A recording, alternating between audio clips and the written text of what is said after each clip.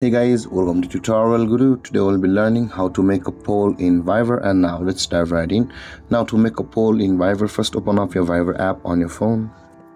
And after opening your Viber app guys, in order to make a poll, you will only be able to make a poll on group chats and communities and channels and not the personal chat box itself.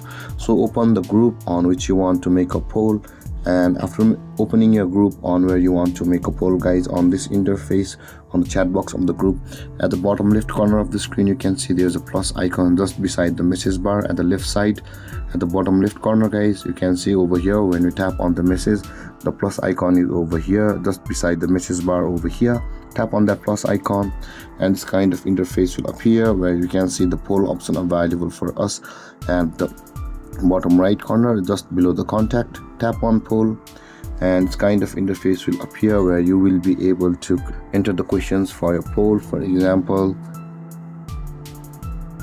And this was the question and you can add options over here like by tapping over here. And after that let's add another option. And you can add many options or many answers as you want and with that being done simply tap on the create button over here. And then your poll will be created on Viber like this where your photos can answer your questions like this.